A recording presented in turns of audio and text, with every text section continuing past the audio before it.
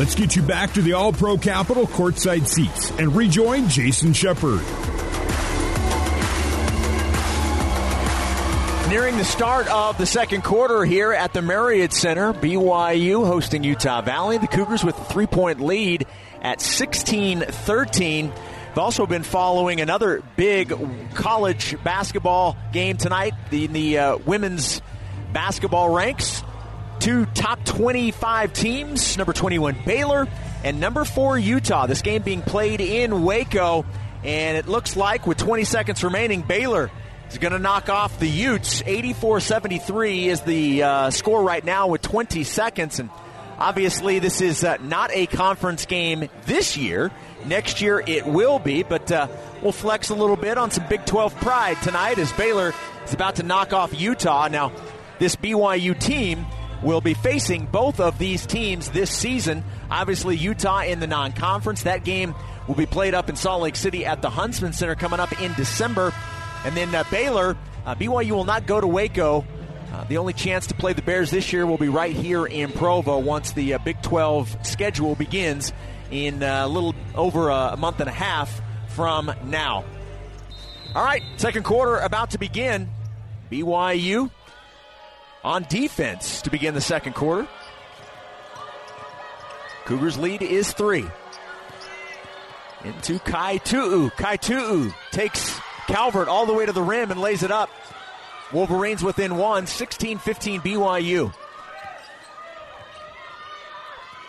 Back into the ball game is Whiting and Smiler. So BYU starting five minus Woolston.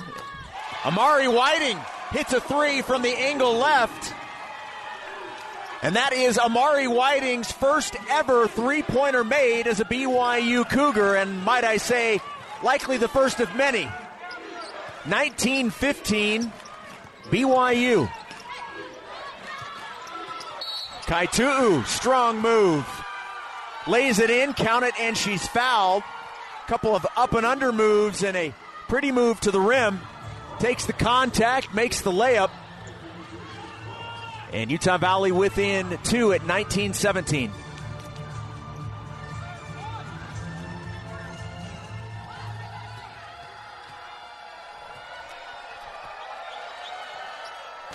Three point play, it will not be.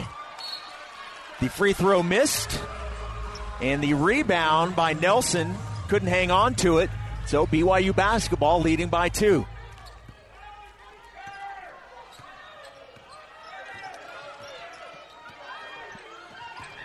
Second quarter, one minute old. Whiting out to Calvert. Now down low to Gustin. Excellent post move by Gustin.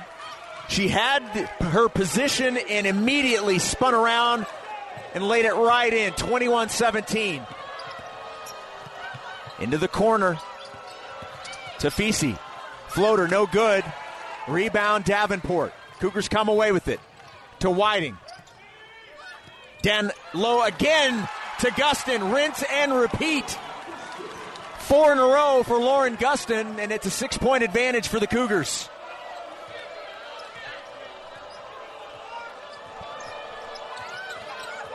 Gustin is doing a great job of getting position early, and it's making the pass easy and the layup even easier.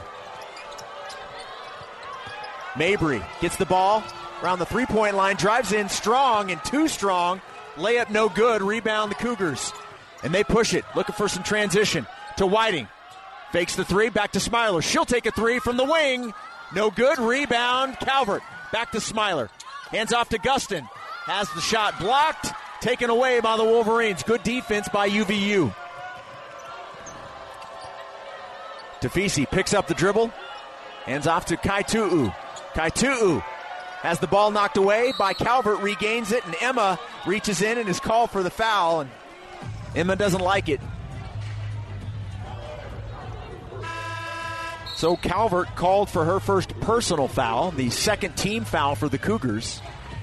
Calvert will head to the bench.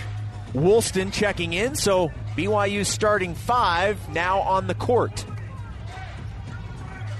Smiler, Woolston, Gustin, Whiting, and Davenport. They get it in to Criddle. Allie Criddle, the junior from Lehi. Out to Nelson. Nelson, three point shot, no good. Rebound, Woolston. Freshman to freshman, Woolston to Whiting, and Amari crosses midcourt, nearing seven minutes here in the first half. BYU leading 23 17. Whiting, little stutter step, takes some contact, back out to Davenport, hands back to Whiting. Whiting defended by Criddle to Woolston, and Woolston, her third traveling call in the first half, A little indecisive, and another turnover for BYU, their sixth. UVU with just two. They'll inbound to Bion and now back to Criddle. Criddle wearing 13 in the black trimmed in green for Utah Valley. Good defense by Smiler, knocked it away. Out of bounds, soap side out for the Wolverines. Criddle will inbound side out into Bion. Kaylee Bion from Buena Park, California, a 5'7 sophomore. Passes out of the double team, now has it knocked away. Good defense by the Cougars. To Whiting. Whiting, step through, has the ball knocked out of her hands. It will be off of Utah Valley, so BYU will keep possession.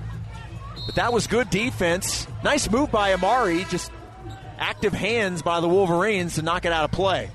27 seconds on the shot clock. Amari inbounding baseline. Amari goes up top to Smiler. Smiler back to Amari. Fakes the three. Drives into the lane. Takes some contact. Count it and she's fouled. Went to her left. Got the body bump. Gets the bucket and can make it a three point play. 25 17 Cougars. That's one of Amari's strengths is her ability to go strong to the basket.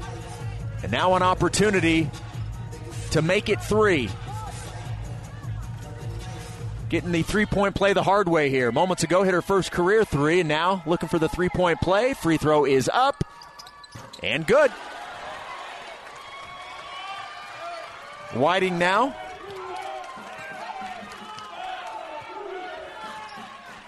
Ten out of the last 11 points have been scored by BYU. Utah Valley's not scored in almost three minutes. They may get that erased here, and they do. Nice driving layup by Nelson. And that ends that streak by the Cougars. 26 19, BYU's lead is seven. Showing some pressure. Pass to Davenport. Wide open three, no good. Rebound Criddle. Outlet pass to Bion. Bion into the corner. Smiler knocks it off of Bion's leg. Good defense by Kaylee. BYU possession. Davenport inbounding to Whiting. Under six minutes to go in the first half. Cougars shooting 48% from the field, 50% from three. Davenport fakes the three, drives baseline, no good. Rebound to Gustin, fouled on her way up. Instead, they'll call a travel, no foul, a traveling call. And there have been four, at least four traveling calls here in the first half on BYU, and that's the seventh turnover on the Cougs. That has been one of the keys to Coach Whiting and the coaching staff is got to cut down on the turnovers. BYU right now averaging about 19 and have seven so far in this game. Nelson takes the handoff from Cheney into the lane, floater no good. Rebound Davenport. Davenport picks up the dribble and now passes to Whiting. Whiting crosses midcourt. Coach Whiting calling out the instructions. Bad pass. Luckily tipped by Nelson before it went out of play, so it will be BYU basketball. Rose Bubakar will check in for Lauren Davenport. And a timeout with 4.57 on the clock. Cougars leading by seven. Over Utah Valley, it is BYU 26, UVU 19. Back to the Marriott Center after this timeout on the new Skin, BYU Sports Network. Back to Jason Shepard for more BYU women's basketball on the new Skin, BYU Sports Network. Hey, Cougar fans, did you know that when you order groceries through the Smiths app, you get the same great prices, deals, and rewards on pickup and delivery as you do in store? So, however you get ready for game day, you can always say big at Smiths. BYU with a seven point lead. 26 19 is our score with 4 minutes and 57 seconds remaining in the first half. Leading the way for the Cougars and all scores is the freshman, Amari Whiting. Seven points on two of four shooting, also one of one from beyond the three point line, her first as a BYU Cougar, two of three from the free throw line, as well as four rebounds and two assists. I mentioned this a few minutes ago. Coming into tonight, she was averaging 13 points, six rebounds, and three assists, and making her third straight start as a freshman. She has been uh, everything as advertised, and the good news is she's healthy. And has not had any minutes restrictions, and that's the uh, the most important thing. Play set to resume. It will be BYU basketball. 17 seconds on the shot clock. Woolston will inbound side out. And Woolston gets it into Whiting. Whiting uses the screen by Gustin. Now Gustin rolls into the other corner. Back to Whiting. Now to Woolston. To Amari. Six seconds. Cougars need a shot. Four, three. Smiler. Two seconds. Takes a bump. And before the shot, they're going to be a foul will be called on Utah Valley. Let's see if they call that on the shot or before. They're going to call it uh, before. So BYU will inbound with 20 seconds. Number five, Jenna Dick checking back in. Bion will take a seat for Utah Valley. Amari up top to Smiler to Rose. Rose looking for Gustin has her pass tipped and turned over. Four and a half minutes left in the half. Criddle crosses midcourt, met immediately by Whiting. Criddle, strong drive, underhand scoop, no good. Falls to the ground, thought she was fouled, no whistle. Whiting to Woolston. Woolston fakes, has her shot blocked on the layup attempt. Tessa Cheney with the block, the sophomore from Saratoga Springs. BYU will inbound with 22 seconds left to get a shot off. 412 on the game clock. And they'll wave off a substitution. Play has resumed. They get it into Bubakar. Now to Woolston. To Amari. Down on the low block to Gustin. Gustin goes to her right, fouled on her way up. Two free throws upcoming for Lauren Gustin. That should be the third team foul on Utah Valley and the second personal on Tessa Cheney. Oh, they gave it to Nelson.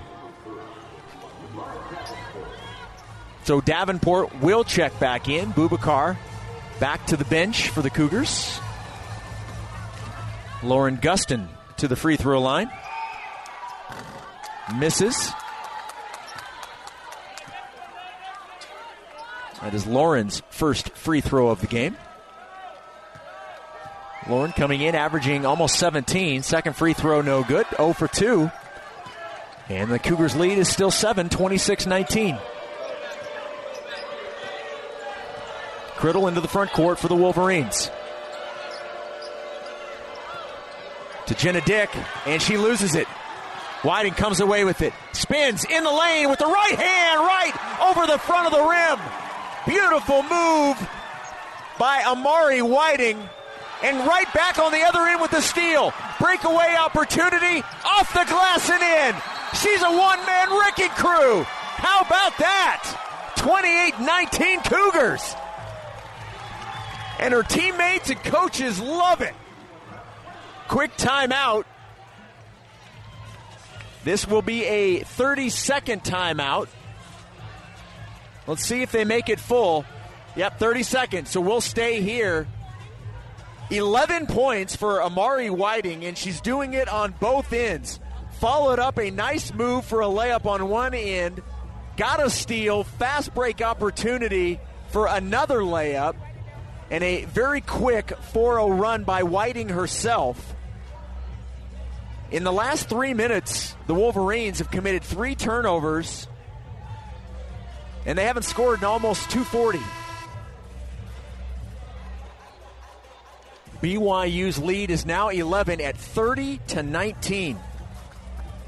For 150 years, Zions Bank has been serving the communities where you live, work, and play.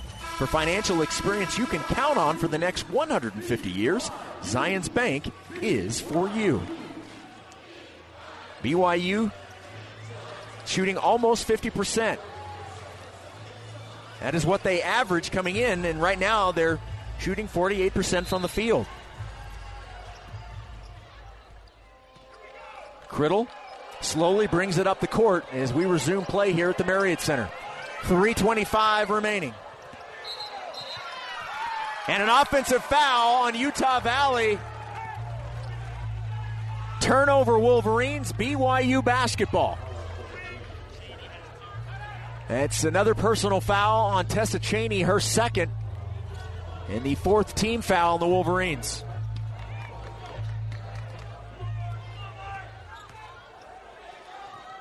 Cougars bring it into the front court. Smiler has the ball. Now to Whiting on the angle. Whiting.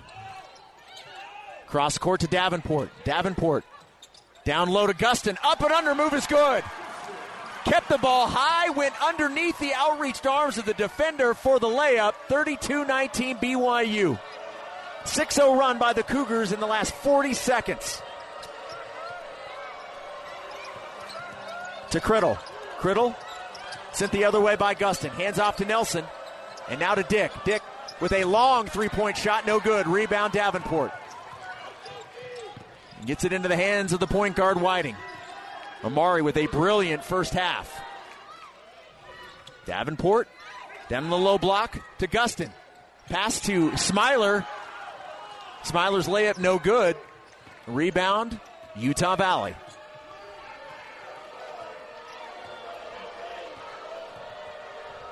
Nearing two minutes left in the half. Three pointer no good. Rebound Cougars. BYU pushes it. Gustin has it. Uses the left hand too strong. Rebound Cheney. Outlet pass to Criddle. Under two minutes. 32 19 BYU.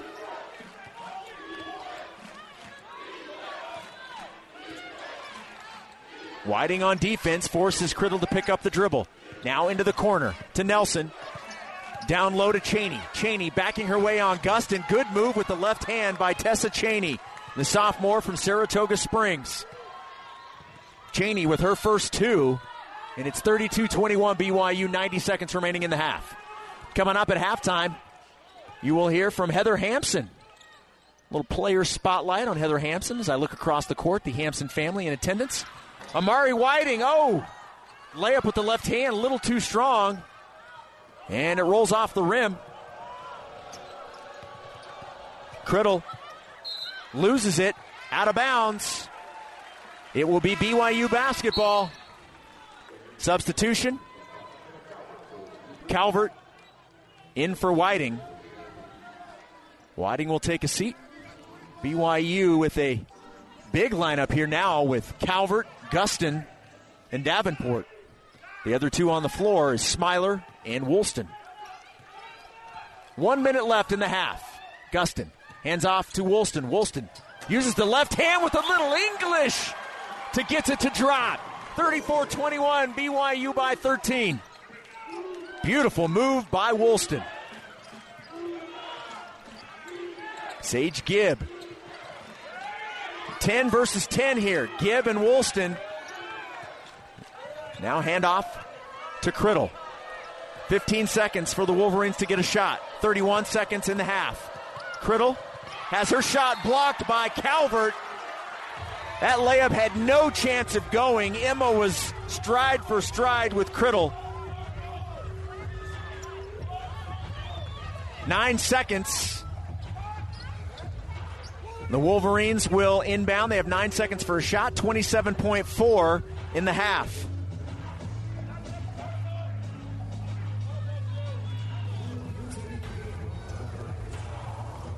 I'm not sure what the holdup is. Oh, it must be a uh, I think there's a, a wet spot on the floor. They've got to mop that up. This will be the second straight game BYU leading at the half. Depending on what this what happens here on this possession, it could be another one by double digits. Right now, it's a 13 point advantage. Nelson, hand off to Barcelo. Three seconds. Barcelo passes out, and nobody realizes that the shot clock was running down. Shot clock violation. Nelson had it in her hands when the clock hit zero. So BYU will look for the final shot with 16.8 remaining. And barring something unforeseen, they will have a double digit lead at the break.